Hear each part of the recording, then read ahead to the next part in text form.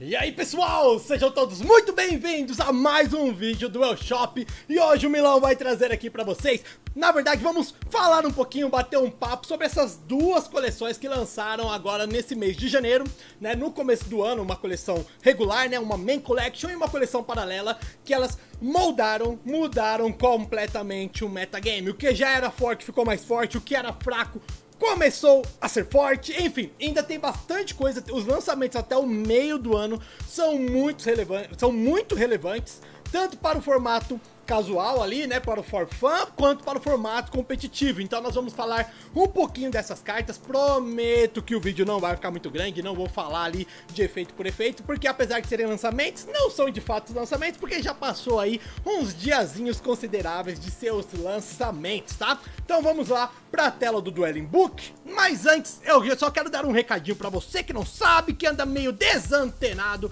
das informações, você que não nos segue lá no Instagram, no qual nós postamos as novidades em primeiríssima mão, você vai lá e segue a gente, o link aqui das nossas redes sociais está na descrição do vídeo, assim como o meu canal, também o e Yu-Gi-Oh! Inclusive, eu quero falar muito dessa cartinha aqui, o Dark, Pra mim, de todas, essa é a carta, tirando os Brave Token, que é uma engine completa, mas de carta solo, pra mim, essa é a mais relevante de todos os lançamentos. Você rouba o dragão do seu oponente, você rouba o Phoenix Enforcer. Como isso, milícia, é muito fácil de acontecer, né? Dependendo do deck. Inclusive, o vídeo no meu canal sai amanhã, no qual eu trouxe um deck que eu estou jogando, que eu estava me preparando para o torneio nos, nos, torneios que tiveram, né, domingo passado, valendo o playmatch bonitão do Illusion of Chaos, mas eu não consegui jogar, porém eu trouxe bastante replay, acho que tem mais de 10 replays, matches mesmo, game 1, 2 e 3, sideado, no qual vocês veem, vão ver o Dark em ação em quase todos, não, em uma grande maioria dos jogos, então o vídeo sai amanhã no meu canal, vai lá e se inscreve, o link tá na descrição. Mas o recado que eu quero dar pra vocês é que temos dois itens em pré-venda aqui no site da Dual Shop. O primeiro deles é o deck do Albaz Strike, esse deck está muito hypado, eu acho que esse deck será meta, a Branded Fusion com as coisas de Despia, assim, é, é algo assim absurdo.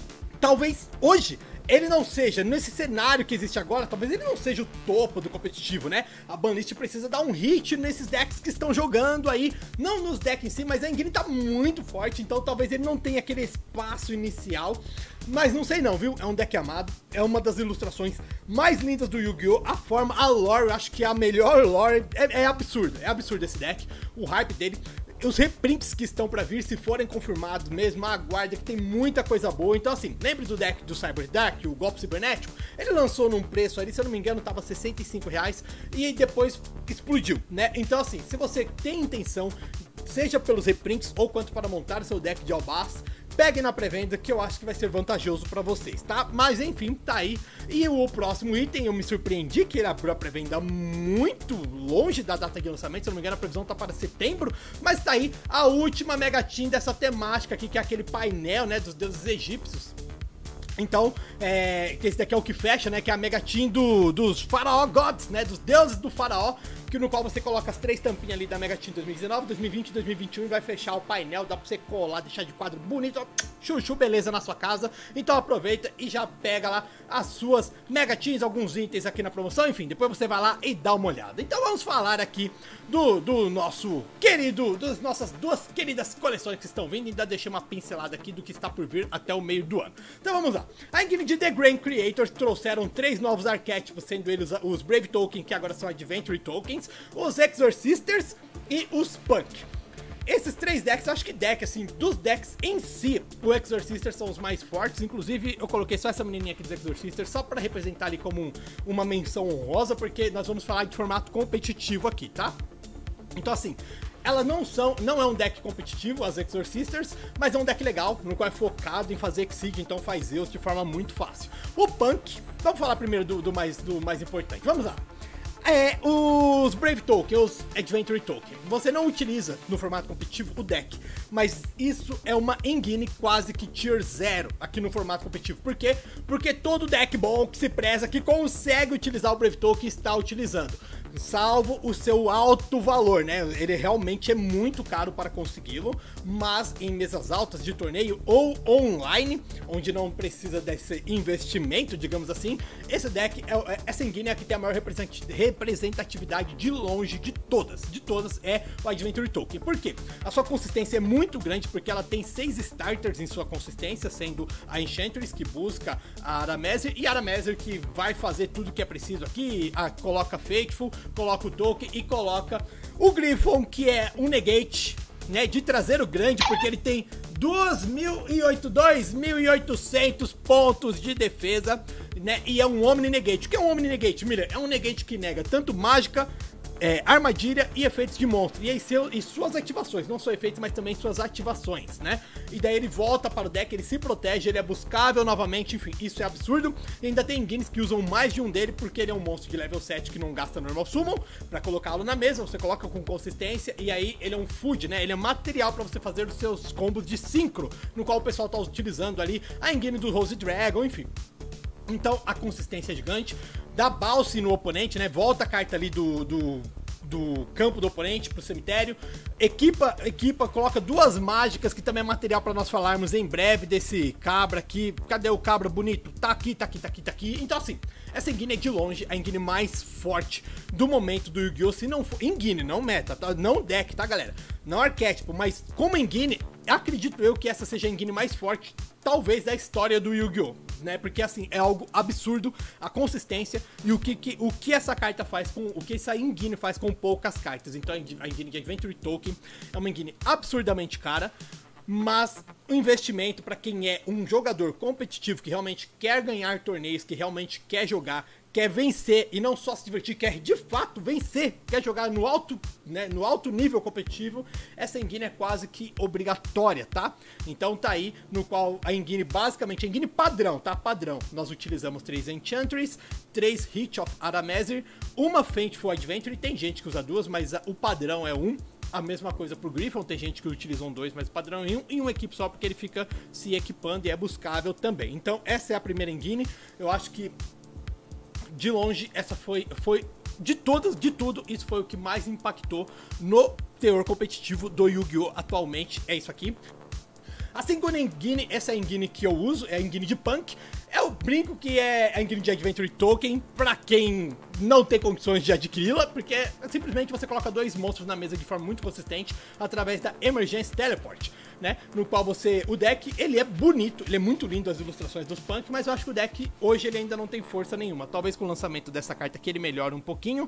Cadê? Eu coloquei ela em algum lugar aqui. Aqui. Talvez com essa non-punk aqui melhore um pouquinho, mas eu acho que o deck seria ainda um for fun sim. Não, não, não passaria muito disso, infelizmente, porque eu queria que ele jogasse mais. Eu gosto da forma como ele funciona. É, mas a engine é muito boa. Então, assim, ela vai buscar ela, que vai gerar um, vai enviar cartas da sua mão pro cemitério, e é legal que ela só se envia como custo, né?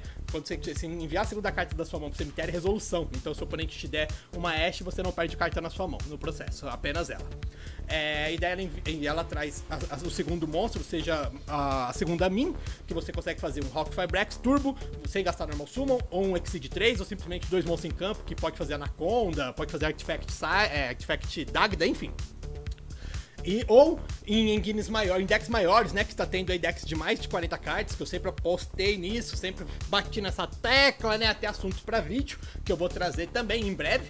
Então, assim, eu gosto de usar uma de cada, até porque essa daqui busca essa trap. Porém, essa trap é uma impermanence piorada, né? Ela precisa, ela não é uma range trap, ela precisa ser setada. Então, em combos, em decks que utilizam de 50 a 60 cartas, é muito válido deixar um de cada, porque daí você vai trazer com a emergência report, vai buscar essa, que vai puxar essa, que vai buscar essa, então gera muito recurso para você. em decks menores, ou que não tem espaço para uma engine de 4 cartas, né? De 4, né? 4, 5, 6, 7 por causa das emergências teleport usa uma carta menos, né? Então usa apenas uma, uma Fox Titane e duas da Amin, e daí você já tem seus dois monstros lá garantido, então uma Engine muito boa. E o Exorci os Exorcisters seriam só deck mesmo, então não é uma Engine, então não tem nada impactando no metagame, nada utilizado no metagame, pessoal usa essa Engine, usa as duas em decks de mais 40 cartas, utilizam as duas, então assim, do Grand Creators do papel de impactar no metagame, que é o assunto de hoje, são dessas duas Engines, a Adventure Token e os Punks. Eu coloquei um barrigudinho careca aqui, musculosinho, ah, que é o Ojama, é o Milão aqui no Yu-Gi-Oh! Então tá aí o nosso Ojama, o Black. Vamos falar agora da Battle of Chaos. Essa é a coleção regular, a Main Collection, a primeira do ano, e ela veio muito boa, muito boa mesmo, me surpreendeu. E a carta, acredito eu que a carta mais impactante do jogo, na minha opinião, não é ele, mas sim o Dark.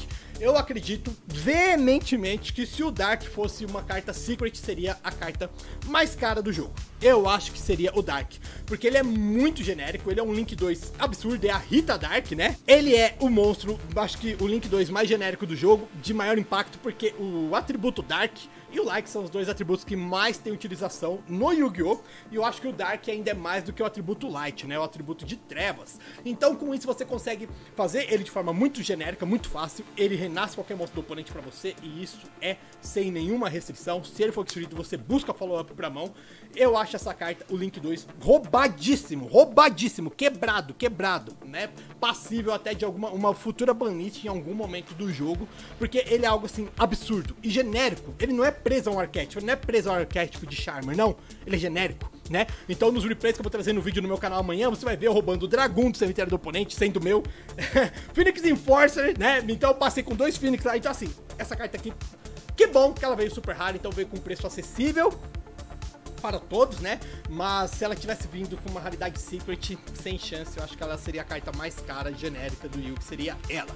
A segunda carta mais impactante, na minha opinião, é o, o Illusion of Chaos. É, a princípio, ela é uma, sempre né, foi, foi, vista como uma excelente carta, mas agora com a, utilização né, do deck de Based, né, que é aquela mistura doida aí de Synchro, e também no deck lá do, do set, né, que o Paulo PRJ, o Gabriel Nex estão utilizando, e agora muita gente está utilizando, os decks estão no meta aí, que são decks de combo, né, um é total combo com aquele pseudo FTK, o outro é aquele combo ali que você compra para controlar, que é mais controle do que combo, enfim, utiliza essa carta aqui. Por quê? Porque ele revela na mão, busca uma distensor, claro, não é o uma distensor em si, mas no metagame é assim, você revela ele na mão, busca uma distensor, ela mesma já se coloca no topo do deck e já é o material para uma distensor entrar special, manda ela pro cemitério. E uma distensor é o seguinte, você vai fazer o combo aqui da Adventure Token e vai passar na mesa com o token, equipado com a Draco, Dracoback e a Fateful no campo, certo? Mais o Griffon, que é o Negate. Então, essas duas cartas aqui, já era, você não precisa mais utilizar nesse momento. Então, uma Soul vai jogar ela e ela pro cemitério vai comprar duas, ou seja, você deu um pot of grid. Se for decks como Eldritch, se você tiver Traps do Eldritch na mão, você envia pro cemitério também. Então, você vai enviar duas, três, quatro cartas, vai comprar isso, e essas Traps do Eldritch vão gerar mais recursos para você em campo na end phase. Então, assim, é absurdo. Esse, esse cara é, é, absurdo, né? O Magician Sensor gera uma carta excelente, agora ele ficou mais do que excelente através desse cabra bonitão, lindo que lançou aqui. Eu quero playmatch desse cara. Ave Maria, tem um bagulho que eu, eu gosto das frescuras do Yu-Gi-Oh! Eu sou um cara que gosta dos artigos de, de, de frescura do Yu-Gi-Oh! que você não precisa pra jogar, mas eu gosto. Eu quero aquele playmatch, eu quero o playmatch desse cara. Eu quero a pasta da Masquerena, eu quero da Ash. Inclusive, tá pra chegar também já já, os do Curibo lá, o do Curi, Curibinho que vem nessa coleção aqui, que é o Mágico Curibo lá. Eu acho que é Mágico Curibo o nome dele. Se não for, tudo bem, vocês me perdoem aí, como sempre. Então, essa carta é muito relevante para o metagame. É, a, a spell do Fluander Reeds deixa o deck muito melhor, porque agora você, se o cara dá uma Impermanence, você ativa ela, tributa ele, ele perde, a Impermanence perde o alvo, e isso vai, faz com que o deck tenha um Extender dentro da própria Engine muito relevante, no qual Flanders, mesmo com o link do é, banimento do link do Simorg, e você ainda coloca lá o, a Stormwind em campo, de forma muito, muito, muito consistente. Eu acho que aquela. Eu acho não. Assim como o Artifact Dagda, é, o Proto foi bonito porque ele é uma Floodgate que depois resolveu, acabou, né? O, então, assim, o Artifact, o Scythe, tem que ser banido também, né? Porque eu uso que vou ser hipócrita pode dizer que ele não precisa ser banido, ele precisa sim. Não adianta banir o Dagda, né? Já, já tô pincelando a balista aqui, porque daí muitos decks de trap estão jogando, tá vindo aí o Dinomorphia, que é muito bom. Eu vou jogar de Dinomorphia, já fico spoiler aqui. Então assim, se não banir o Scythe, eu vou usar três Artifacts Sanctum no meu side deck e vou fazer Scythe Lock no, do mesmo jeito no oponente. Então quem tem que ser banido é o Scythe. E a carta que tem que ser bonita também é a Harp. Me julguem, me julguem. Essa carta aqui, a Harp Feeder Storm. Essa carta aqui resolveu, acabou. Acabou. Não é uma carta. Ela é pior do que Skill Drain, ela é pior do que Rivalry, porque elas ficam lá em campo, você consegue tirar elas com Cosmic Cyclone, essas coisas. Essa daqui resolveu, acabou. É tipo o Protoss. Então se banir o Protoss, tem que banir essa também. E tem que banir o Scythe também. Então assim, o Flanders, ele tá num alto nível agora, eu acho que ele voltou, agora sim, ele é consolidado no metagame, talvez pode não ser o topo do competitivo, mas ele é no mínimo um tier 2, na minha opinião, então tá aí. Um, um deck que, na minha opinião, entrou no metagame, eu não sou um bom jogador de DD, nunca joguei de DD, enfrentei um ou no máximo dois DD, não sei muito como o deck funciona, mas o deck tá bem legal, tá bem mais consistente, por conta do Griffon, que é uma carta super barata, que vale a pena pegar, e ainda veio foil lindo, bonito se explode na escala, é, se invoca por special, busca follow-up, busca carta. Cara, Griffon é incrível. E, claro, o Master. Olha a ilustração dessa carta. O tiozão é parrudo em seu trono, cara. Olha isso. E ele que é tipo um Jingirso, né? Fica a referência pros Orcus, porque eu sou Orcusete mesmo. Então tá aí, Orcustete, ah, sei lá. Então tá aí, o cara é animal, ele é negate, enfim, ele se invoca assim, burlando a mecânica do Exit, no qual simplesmente coloca ali em cima de um DD, de um monstro DDD, né? Enfim, é DD ou DDD, eu não entendo muito desse deck não, mas o deck agora eu considero ele como um Tier 2, não porque eu jogo com ele, mas porque pelo Zuzuzum, né? Eu gosto muito de assistir os demais YouTubers, assisto mesmo, seja BR, seja gringo, e eu vejo que o DD tá tendo um, um bom aporte nesse metagame. Isso é muito legal porque é um deck amado por todos. Eu gosto porque ele faz tudo quanto é invocação aí. Eu acho muito justo esse deck ter finalmente voltado ao metagame, porque quando ele meio que lançou, né, ele ia entrar no meta, daí mudou o Master Rule, e aí quebrou as pernas do DD, nada mais justo do que ele estar aqui, e é incrível que essa coleção tenha trazido suportes para isso. É, uma menção honrosa também, né, o deck trouxe aí os vampiros, né, esse The, Void, esse The Zombie Vampire, que era The Undead Vampire, né, ele, ele utiliza em qualquer deck que faz Exceed 8, né, então eu tô trazendo, tô preparando um deck de Zombie Dogmática, totalmente diferente, fora da curva, que vocês não virem em lugar nenhum, eu tenho certeza. E utiliza o The, The Zombie Vampire. O Light Sworn está utilizando ele. Qualquer deck que faz 5-8 genérico pode utilizá-lo, porque ele é incrível e os novos zumbis são muito bons também. Porém, eles não são meta. Então, foi só uma menção honrosa, assim como o Guardian Chimera. Essa carta aqui, ela vai ver jogo no metagame em algum momento, acredito eu que com o lançamento do Albaz Strike, né? Com as coisas de brand, de desp, assim, eu acho que essa carta, ela já é cara, né? Então eu acho que ela vai talvez encarecer mais, então talvez seja até interessante você já ir correndo atrás da sua antes do deck ficar vigente aqui no TCG. Então tá aí o Guardian Chimera, que é muito bom, menção honrosa pra ele também. Os Dinomorphia, nesse momento, é um deck totalmente for fun, com a, com a nova coleção de Dimension Force que vem em maio, que lançam essas duas cartas, essa carta aqui que é incrível, é uma Floodgate monstruosa, mas essa a trap deles que é incrível que eu não coloquei aqui também, que ela vem também nessa coleção. Eu acredito que esse deck vai ver jogo. Eu espero que ele não seja meta, porque toda vez que vem meta, né? Você, galotinho, que fala, ai, será que meu deck vai ser meta? Não queira que seu deck seja meta, se você não é um jogador que realmente de alto teor competitivo, né? Essa daqui, essa carta aqui é incrível, porque ela faz fusão utilizando os monstros Extra Deck. Porque, e você falar, ah, a arte dela, né? Olha isso! Imagina um playmatch disso! Aff, enfim. É, não quero que seu deck seja meta, porque a Balist vai pegar. Vai pegar, depois você vai falar, é, foi totalmente injusto. Não é injusto, a Balist pega deck bom. Então assim, essa carta aqui esse deck talvez veja jogo em algum nível após o lançamento da Dimension Force, que chega em maio. Então eu deixei esse Ojamin aqui só para separar a Branded Fusion, que é a carta das cartas aí, mas eu acho que essa talvez seja a carta mais aguardada do ano. Se não for do ano, é pelo menos desse primeiro semestre, eu acho que é ela né? Então eu deixei hoje a minha aqui, ela vem no deck de Albaz Strike agora, se não me engano, em abril, né? E daí nós temos aqui a Dimensão Force, no qual vai trazer o Therion, que assim como em Guine, esse bicho é incrível, assim como em Guine, eu acho que esse deck vai ser meta, vai ser muito caro. Vem o novo Link aí, que é o novo Hawk Firebrax, não é o Hawk Firebrax, mas faz uma função muito boa e útil no deck de pêndulo, eu acho que vai ser bem caro também. Vem as novas coisas de zumbi, que eu tô dormindo e sonhando com esses zumbis, cara, eu quero que venha logo. E os Dinomorphs vêm também. Vem os novos Predaplantes, que são muito bons. Vem algumas coisinhas ainda de branded, vem, ou seja, isso vem suportes para as coisas tanto de punk quanto de Exorcisters, então vem aqui também. É, tá aqui mais coisas de branded, aqui as Exorcisters que eu, tinha, que eu havia falado, e aqui a coisa de punk. Então assim, o primeiro semestre do Yu-Gi-Oh! Deixa eu. Bom, esse daqui é tudo que eu tinha pra falar das cartas. Deixa eu voltar aqui pra minha tela, que eu prometi que o vídeo não ia ser muito grande, então a gente já tá quase finalizando. Bom, tá gravando? Meu Deus, tá, tá gravando. Então, assim, o primeiro semestre, né, pra, do Yu-Gi-Oh!, né, aqui de 2022, cara, tá incrível. Ainda no primeiro semestre vem também o duelista lendário lá do, das profundezas, que vem as novas cartas de Marinces, no qual eu levei uma surra no replay do vídeo de amanhã. Então, assim, lá no meu canal. O Dex Manistas vai estar incrível, só que ele já vem lá pra junho, né? Então eu quis falar somente até a próxima Main Collection, né? Que é a Dimensão Force. Então assim, essas duas coleções mudaram o metagame total, né? Tá, tá aí os decks jogando aí um Prankids voltou ao meta por conta do, dos Adventure Token. A força que, esse, que essa Engine dá para Phantom Knight, para qualquer deck que simplesmente não precise ativar um efeito em sua normal summon é absurda. É absurda. É, e aí essa, é, o novo Magician dá suporte para esse, essa engine. Enfim, é algo assim que realmente é absurdo.